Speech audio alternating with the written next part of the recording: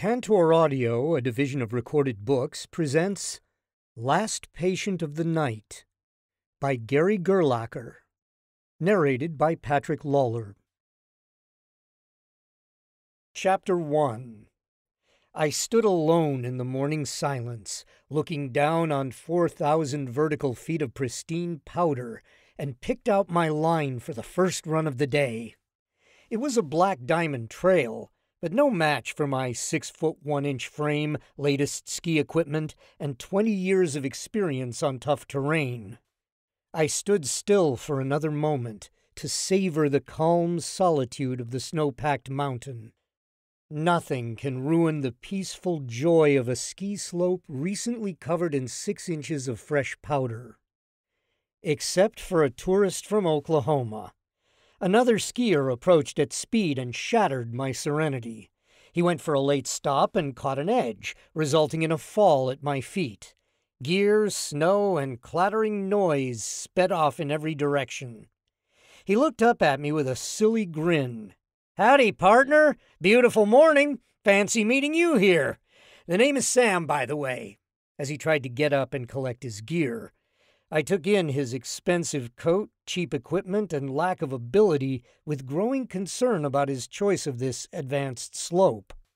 I would have been happy to leave him there to enjoy my run, but mountain etiquette required me to help him get up and get his gear together. It took only a minute to collect his gear and help him get clicked back into his skis. Yes, sirree, he said, as he finally stood up and wiped the snot and snow off his face. Look at that trail! Fresh powder waiting for first tracks. Looks pretty steep. Hey, you mind if I go down first? I've never had first tracks on a trail like this.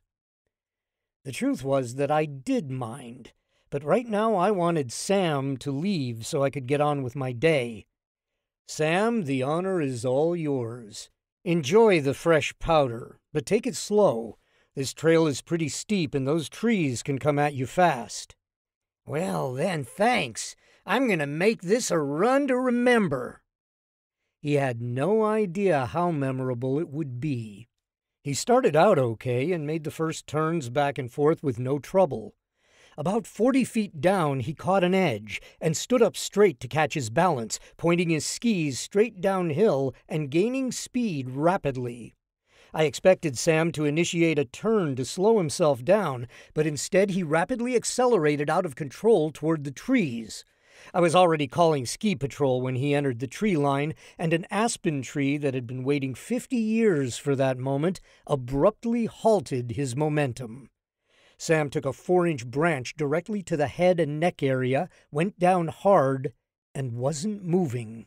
Ski Patrol answered as I launched down the hill. Unlike Sam, my skiing had purposeful control and wasted no motion as I sped toward him. Ski Patrol, how can I help you? I need a medical team and evacuation to the top of Devil's Bend Trail. A gentleman skied into the trees and is going to need to be evacuated. Tell them to follow our tracks down the center of the trail to the first line of trees. I've alerted a team. What are the nature of his injuries? Ski Patrol asked. Hold on, I'm pulling up to him now. With one glance, I knew it was bad. A barely conscious Sam gasped for air. Listen, you need to get a medical chopper to land as close as possible to us. I clicked out of my skis, wiggled out of my backpack, and hustled over to Sam as best I could in ski boots. Bad. Definitely bad. Sir, I cannot authorize a chopper until one of our medical teams has requested it. What are his injuries? Ski Patrol was still on the open line. I ignored the ski patrol but left him on speaker as I began my initial exam. Every major trauma exam begins the same way by checking for airway, breathing, and circulation, or ABC for short. The first thing is to make sure the patient has an airway. I would not have to worry about anything else, because Sam had no airway. Sam had taken a tree branch directly on his throat and already had significant swelling in the neck. Worse, he was not moving any air at all. His panicked eyes pleaded with me as he reached for his throat in the universal sign of choking. Sam was not choking on anything, though. His larynx was crushed and Sam was suffocating. I ripped off my ski gloves, opened my backpack, and pulled out equipment as I spoke to Sam in a reassuring voice. Sam, look at me. You have crushed your throat and lost your airway. You can't breathe now. In a minute you're going to pass out, and when you do, I am going to put an airway in for you and fix you up. I thought my tone was reassuring, but Sam's eyes grew even wider as I spoke. I laid out my scalpel, gauze, tape, and an endotracheal tube. Most folks do not carry supplies like this on the mountain, but as an emergency room doctor and an adrenaline junkie, I like to be prepared for all situations. That preparation was about to pay off big time for Sam. How far out is the medical team? Four minutes? The dispatcher's voice was shaky as well. Okay, then, I am doing this without them. Did you order a chopper yet? Yes, sir. They are about 20 minutes out. Sam's attempts to breathe became more feeble. I held his hand with my hands and said encouraging words until his efforts stopped altogether. Before brain damage started, I had about 60 seconds to restore oxygenation. Time slowed as I went into full doctor mode. First, a quick swipe of an alcohol pad. This was hardly a sterile procedure, but Old habits die hard. Next, a one inch vertical incision over the Adam's apple with a scalpel, much larger than I would normally like, but I had only one shot at this and no help. I held the scalpel steady and made a firm cut through the superficial and deep layers of the skin. Skin is a lot tougher than most people realize, and even a scalpel needs significant pressure to penetrate deep. There was some bleeding, but luckily no major vessels were hit. Pure luck determines whether a small artery is nicked and blood spreads everywhere, obscuring the area and making the procedure more difficult. I ignored the small amount of bleeding and continued. I spread the skin and tissue, revealing the pearly gray surface of the cricothyroid membrane that covers the airway. The rest of the trachea is thick cartilage, which is difficult to penetrate, but the fragile cricothyroid membrane is about the size of the top of a pinky and I easily punched a hole in it with my scalpel. There was an immediate rush of air from the lungs, which was a good sign, meaning the blockage was above where I had cut. Next, I threaded a breathing tube into the hole and down his airway toward the lungs. Normally, a breathing tube goes through the mouth or nose and down the trachea and into the lungs. Entering through the cricothyroid membrane is a shortcut to the lungs. The open end of the tube is normally connected to a bag to blow air into the lungs, but even I did not have an airway bag on the mountain. So I went old school, taking a deep breath and blowing into the tube.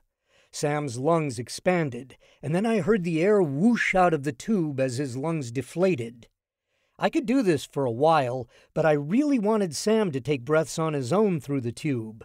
The body's desire to breathe is not based on a lack of oxygen, but on a buildup of carbon dioxide in the bloodstream.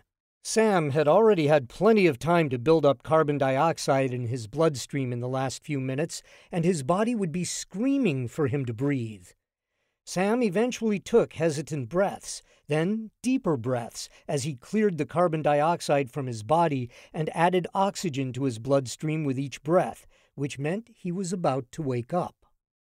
Sam sputtered and spontaneously took a deep breath in through the tube. His eyes opened in panic, and he predictably reached for the tube, but I was ready for him and pinned his hands down. Sam, listen to me. You're going to be all right.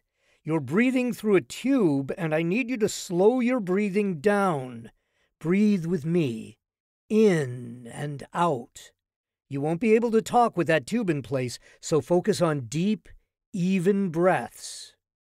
I took a few deep breaths, and Sam slowed down his breathing to match mine until he got into a comfortable rhythm. Members of the ski patrol arrived, and soon we had six people working to stabilize Sam.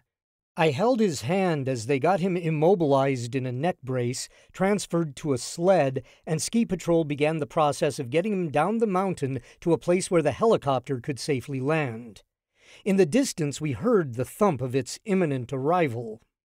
After Sam started down the mountain, I packed up all of my supplies, and an older ski patrol member came over. I assume this is not the first time you have done one of these, correct? Well, it is the first time I've done one of these on a mountain, but I have done a few. We took a measure of each other. He was a solid man who looked like he had lived on this mountain his whole life, and probably the only one up here besides me with a pulse under 100. Sir, I have been on this mountain for 43 years, and that is the first time I've seen a tourist cut an airway into another tourist.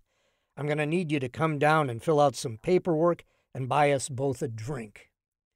I'm happy to oblige, but there's one thing. You see, there are still 4,199 acres of pristine snow that I haven't had a chance to see yet. Last lift goes up at 4 o'clock. I'll make you a deal. You tell me where I can find a warm fire and a warm drink, and I'll be there by 4:30 to give you as long a statement as you would like. In the meantime, I would like to get some skiing in today. Unfortunately, I am off at noon today. Hey, Michelle, can you get his statement after work today? As Michelle approached, her eyes lit up as she focused on me. She was a gorgeous five foot ten brunette with brown eyes that threatened to melt the snow. Time for a change of plans.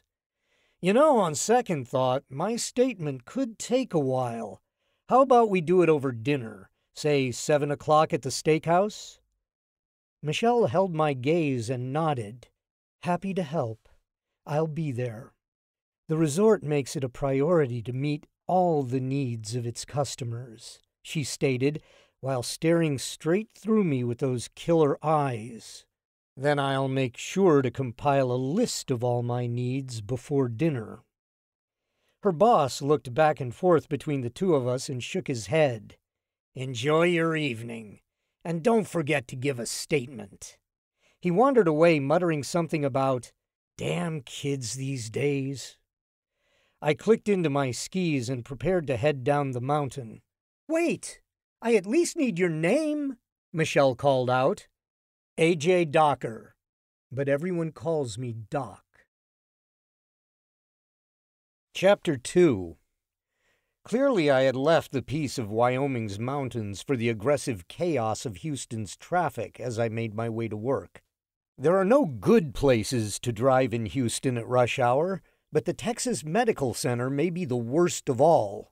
The center is a two square mile area south of downtown that contains 13 teaching hospitals, eight specialty hospitals, two medical schools, and a host of other medical services. Over 100,000 employees work there, treating over 10 million patients each year. It is the largest medical center in the world, and second place is not even close.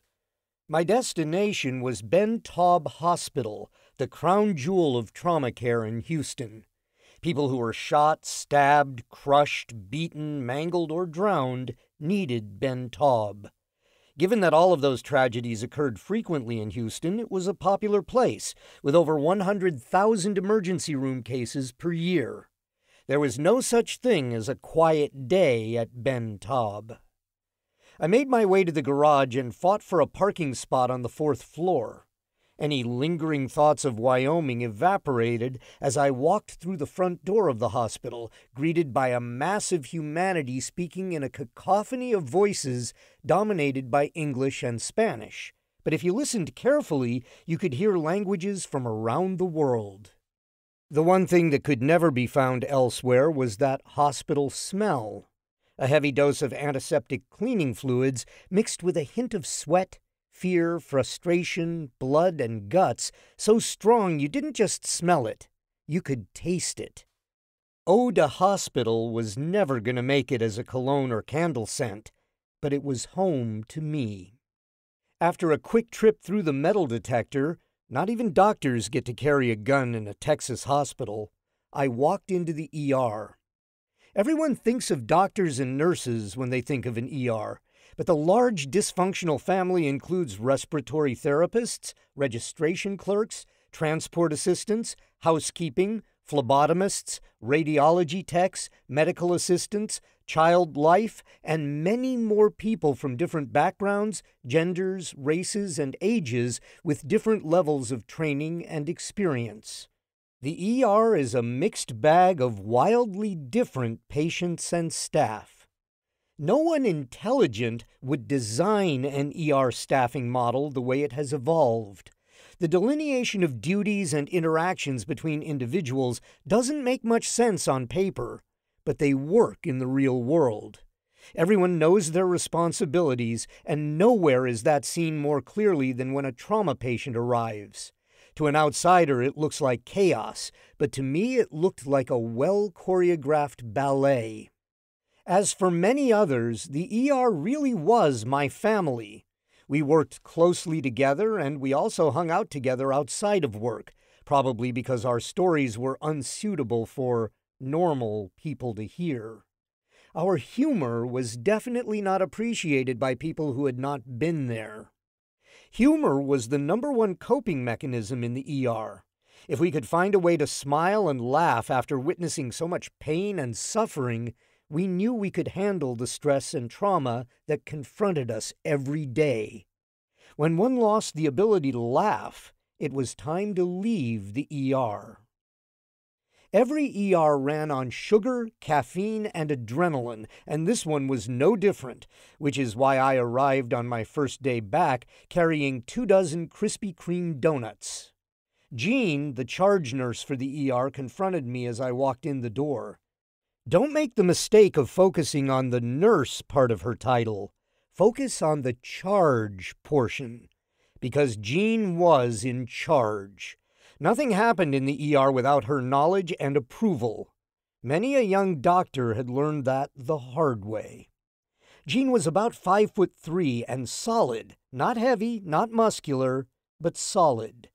She grew up in West Texas and had learned to ride on a ranch at an early age. She was roping cattle by the time she was ten, although she probably yelled at them to lie down, and they did.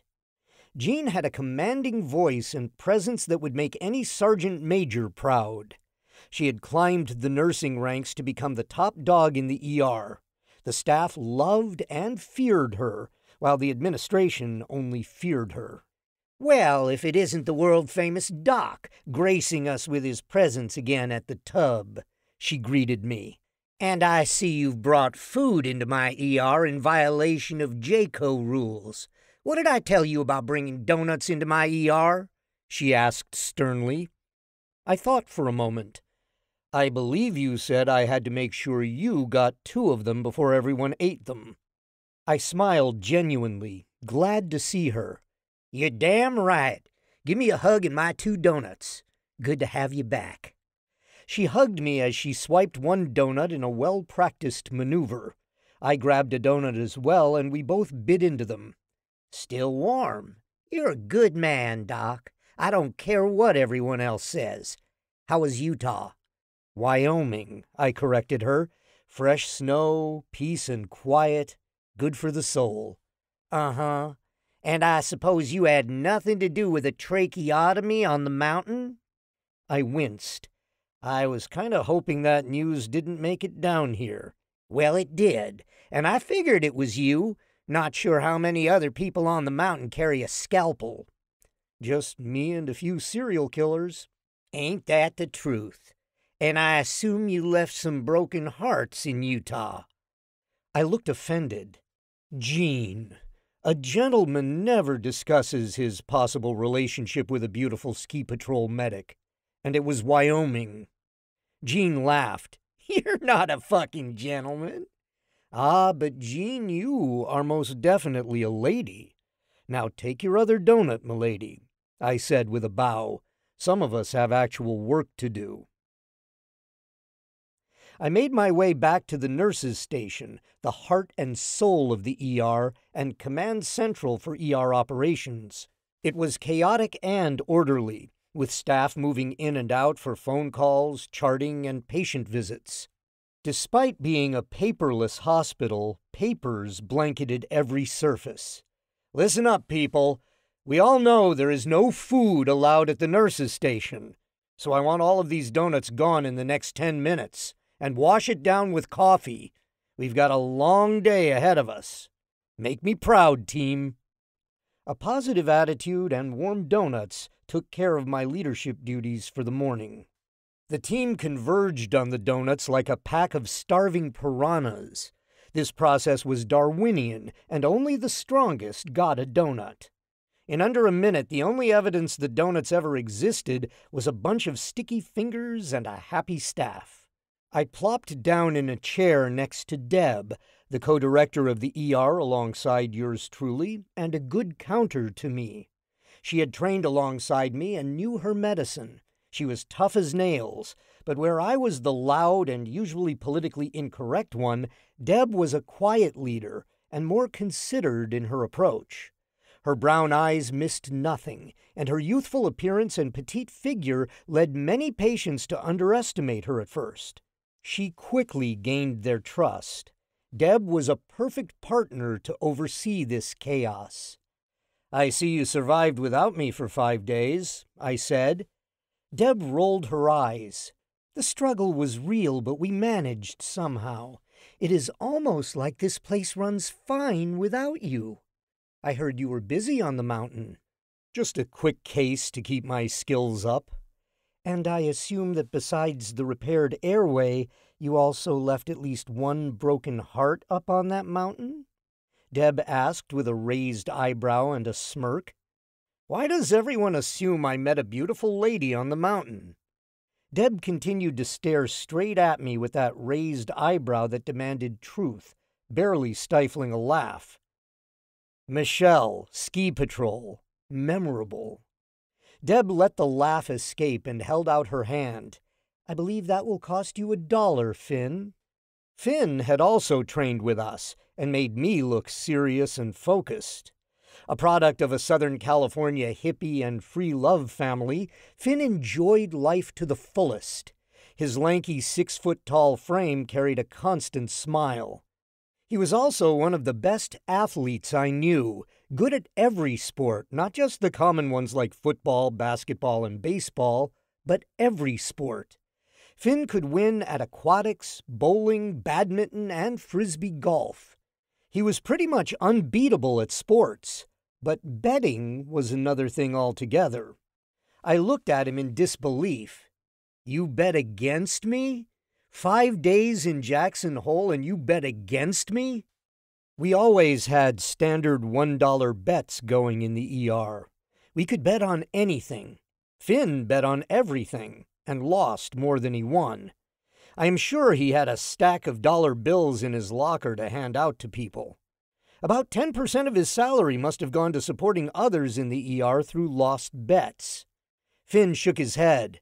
You have to strike out eventually. Not before you run out of money. Chapter 3 Two hours later, Deb sat up straight in her chair, a sure sign that danger approached. Watch out, incoming. It's not the loser, is it? Please tell me it is not the loser, I murmured hopefully. I was not in the mood to deal with that idiot. It's him, and he has a stack of papers and a smug look on his face. Good luck. I think I'm going to go find a patient who needs my help, she said as she slid away. I took a deep breath, put on my politician's smile, and turned to face my antagonist. Lou Gallagher was one of a growing number of 30 something vice presidents in the hospital. They all had degrees in healthcare management as well as MBAs and spent their days in meetings and conference calls deciding how to run things. Armed with Excel spreadsheets and PowerPoint presentations, they didn't know a damn thing about how medicine actually got delivered in a hospital. And most of their great ideas rated somewhere between ignorant and downright dangerous. Their numbers had grown over the last two decades, and now herds of VPs wandered the administrative floors looking for someone to join their newest committee. Lou was among the worst because he was convinced that he was always the smartest guy in the room. That may have been true when he sat in his office alone, but out here in the real world, he was another smug asshole in a suit with bad ideas, no empathy, and a limited personality. Hired about a year ago, he was a pain in the ass from day one. He approached with purpose. Good morning, Dr. Docker. As usual, Lou was in a suit with a dapper vest, a big gaudy watch, and really shiny black dress shoes. With his close cut dark hair and beady eyes, he looked like an undertaker about to sell me a casket. For some reason, he always wore brightly colored socks, in contrast to his dark suits. I am sure there was a reason for it, but I had never bothered to ask. Good morning and hoo ha to you, Lou. Please have a seat. Always nice to see our administrative leaders on the front lines. And please, how many times do I have to tell you, call me Doc? Okay, Doc. But I must tell you, I prefer to be addressed as Vice President Gallagher. That seems a bit formal for the ER. How about we compromise and I call you VP Lou? Now, how can I help you this morning? I asked as I leaned back and grabbed another donut, thankful someone else had brought donuts this morning. Great minds think alike.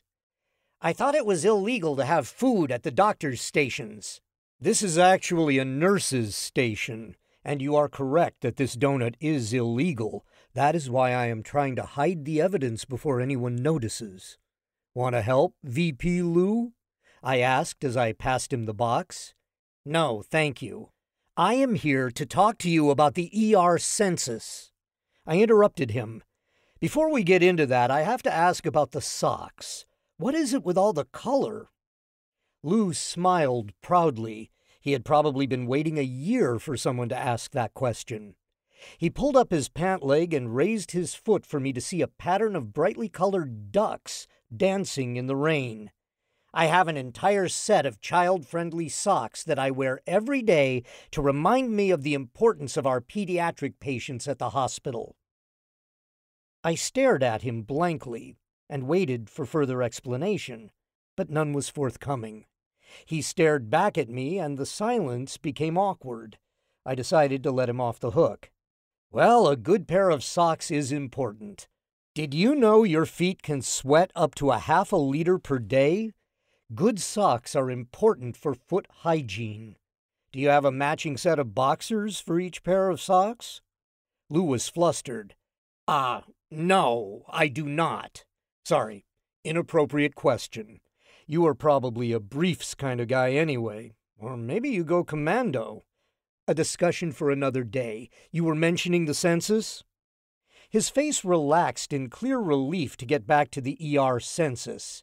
Your numbers are down 2.7% for the week and 3.1% for the month below projections. What do you have to say about that? That is great news. Hey, everybody, listen up. Fewer people got sick and injured last month. Houston is healthier. Let's hear it for the people of this city. I cried, eliciting a small cheer and a smattering of applause from the staff nearby. Lou, however, was not smiling. This is not good news at all. When volumes are down, revenues are down. I cannot show a profit for this department with these numbers. A clearly stressed Lou fumed. I forgot that you are the money person and that I am just a people person. This seems to be a problem for you. How can a lowly ER doctor such as myself help you in your time of need? We need more volume in the ER. We need more patients to meet projections. I pretended to think hard and then snapped my fingers. I got an idea. Jean, come in here a second. Jean was walking by and detoured over to us. Tell all the interns and residents that when they are driving home tonight, I need them to hit a minimum of two pedestrians with their cars. Not hard enough to kill anybody, but preferably hard enough to break some bones and tell them to focus on folks with insurance for VP Lou here. Consider it done, Doc, Jean said as she sauntered away. Agape, Lou could barely speak. You're not really going to do that, are you? That's illegal. It's only illegal if we get caught, and it gets the job done. Last time we did this, we got 32 trauma cases in six hours. Great idea, Lou. Thanks for suggesting it. I will make sure everyone knows it's your idea. No, no, stop her. This was not my idea. I don't want to hit people with cars. You have to stop her. I looked around, but Jean was out of sight. She's busy now, but I'll tell her to hold off talking to the residents before end of shift. Let me write myself a note to remind her. I painstakingly wrote, Don't hit people with cars on a sticky note and pasted it on my computer. Now, what else can I help you with today? One other thing, as he regained his composure. You are using too much AC down here. This is Mike from maintenance. He pointed to a man in coveralls standing nervously nearby. He is going to install a lockbox on the thermostat, and I have the only key, Lou said, holding up a key. From now on, the temp stays at 74 in the ER. We can save 5.3% on electricity costs with this change. VP Lou I'm going to lose 5.3% of my body weight and sweat each shift, and probably lose 5.3% of my staff if you do that. We gotta get gowned and masked up down here and work under the hot lights. We need to keep it cooler for the staff. My decision is final. The needs of the hospital come before the needs of the employees. 74 degrees from now on. Now, it appears you have patients to see and I have meetings to attend. Goodbye, Doc, he said with a smirk. Hoo ha to you, VP Lou, I said with a matching smirk.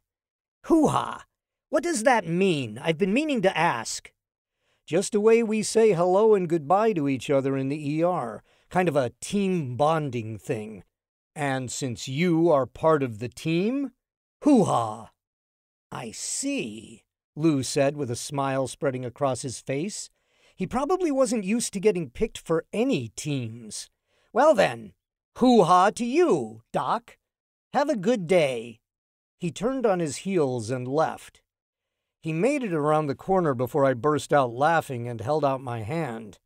Finn laughed as he put a dollar in my outstretched hand. Figured it would take longer than one day to get him to say it. You had four days to go before you lost the bet. Hoo ha, hoo ha, hoo ha, he chanted as he walked away.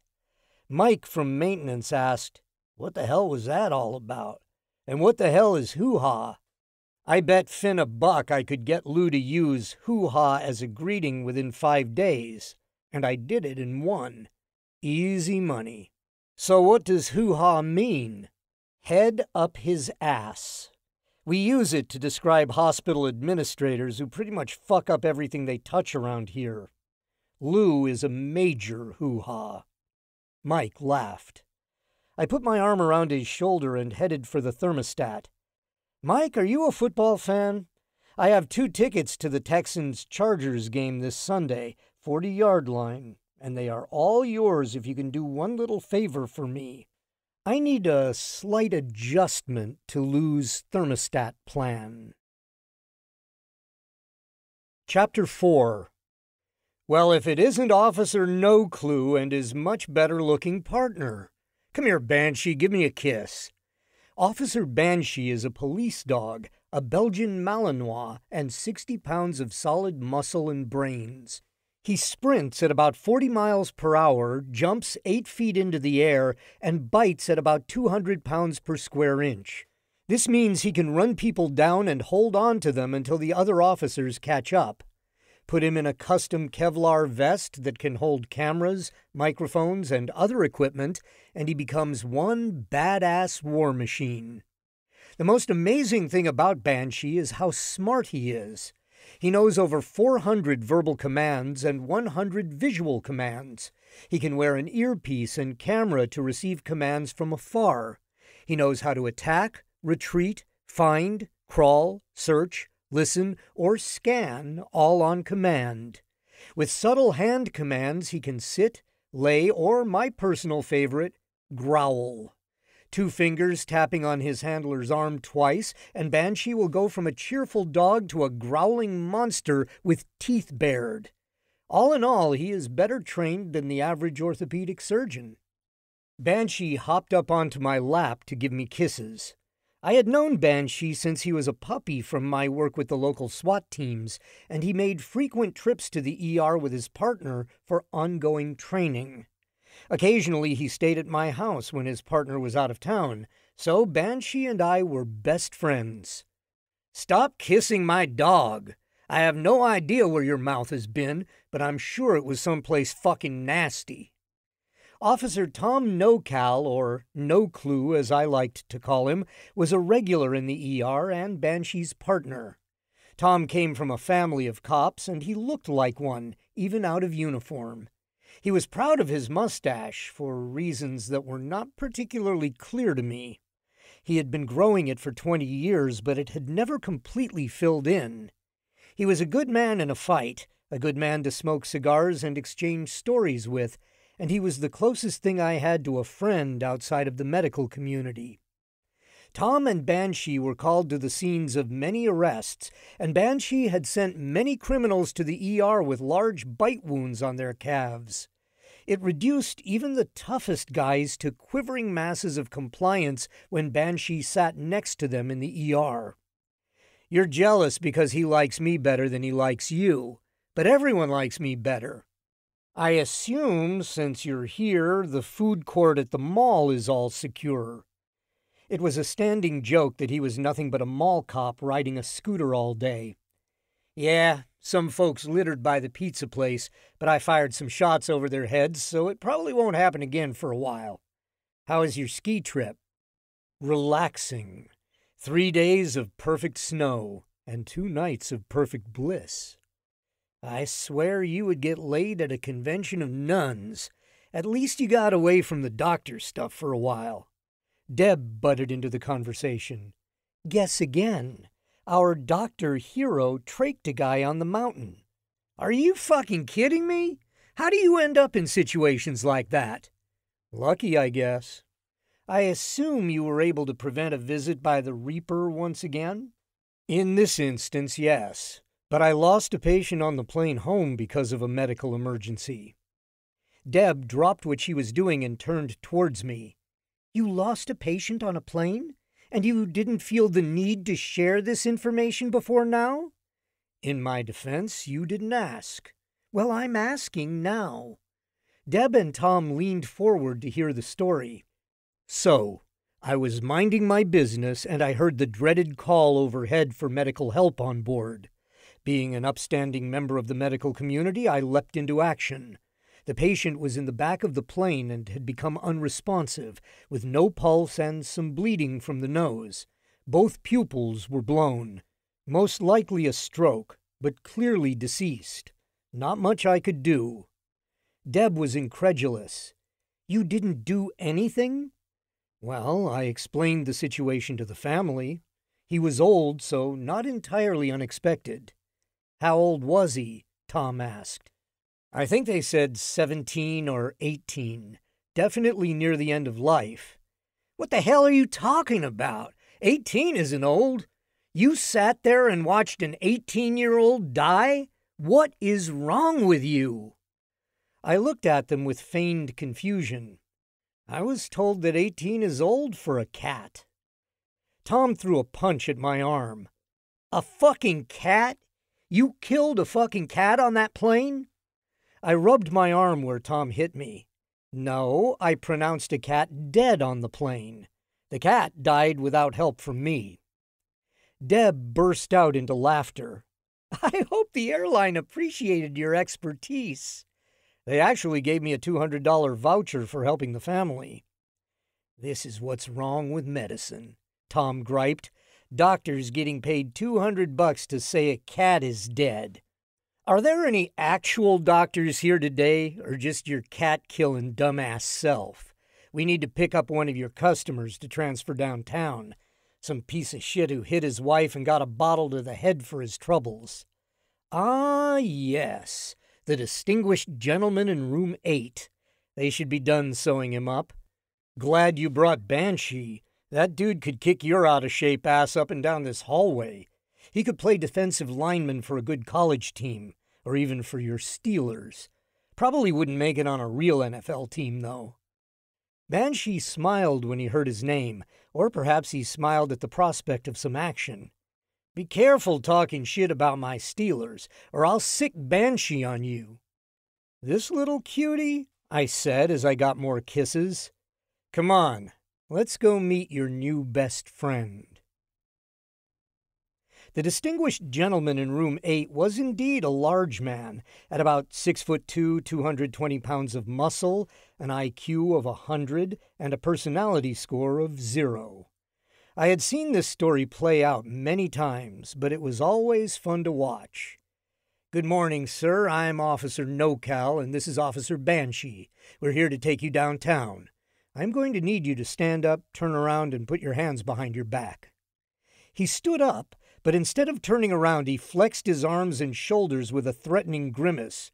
Get that fucking dog away from me.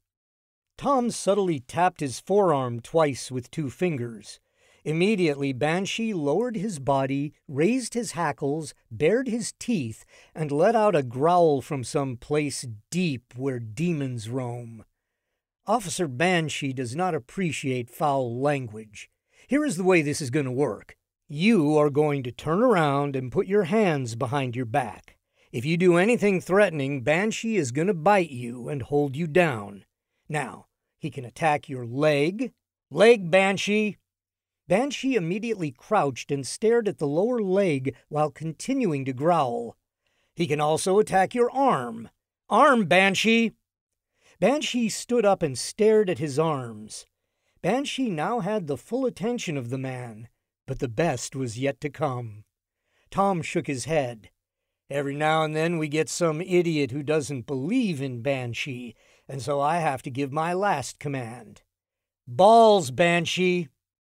Banshee leaned forward and focused all his attention on the man's groin, all the while growling and baring his teeth.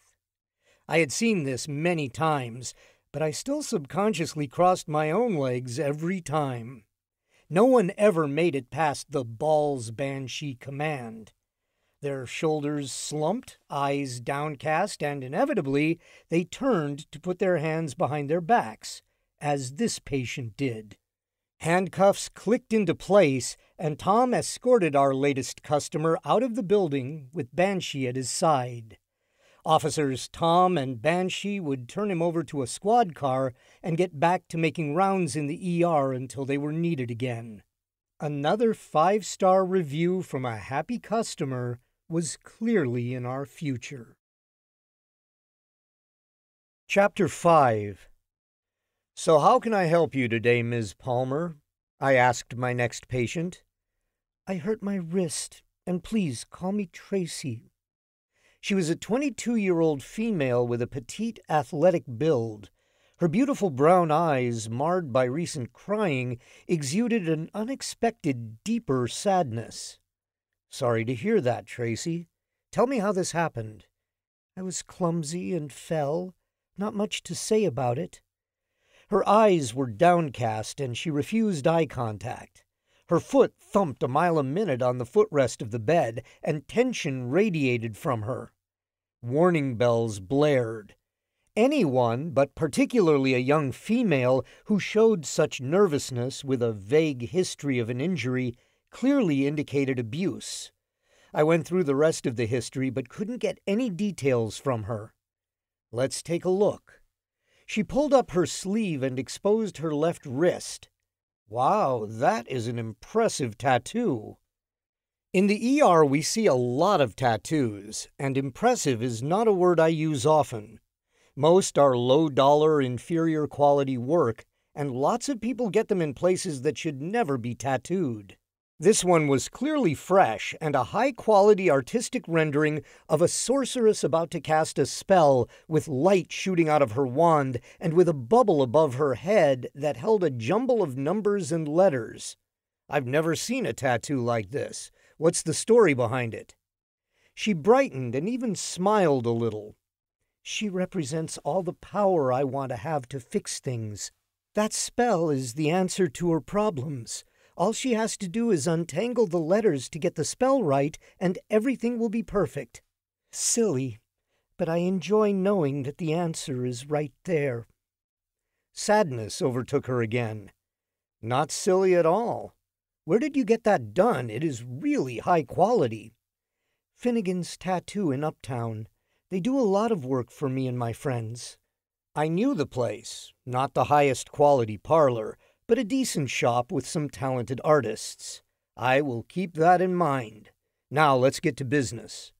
A quick exam revealed some swelling and point tenderness, suggesting a mild fracture. I explained everything and told her we would get an x ray to confirm if it was broken. Tracy, I want to make sure you are safe. Are you sure no one hurt you on purpose? We can get you help if needed. Through the long pause, I hoped she would tell me what really happened, but it was not to be. I'm fine. Nothing but a clumsy fall. Lack of eye contact suggested this wasn't necessarily the truth, but I can't force adults to tell me the truth. Okay, wait here and we'll get that x ray. I left the room, ordered the x ray, and then tracked down Officer NoCal, who diligently guarded the remaining donuts. You're going to get fat eating those things. I'm not eating these. Some nurse set them down and asked me to watch over them. Well, wipe that chocolate off your lip, Officer No Donut. We hope you enjoyed this preview. To continue listening to this audiobook on Google Play Books, use the link in the video description.